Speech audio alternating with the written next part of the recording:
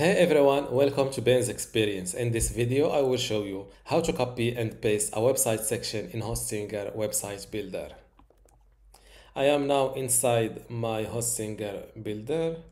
Let's say that I want to copy and paste this latest post section, for example.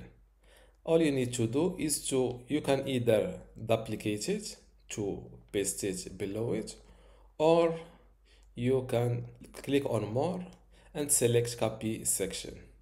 Now go to another section, select this section first and click on more and hit paste section. As you can see, it is added below your section. Let's see the original one and let's see the copied one.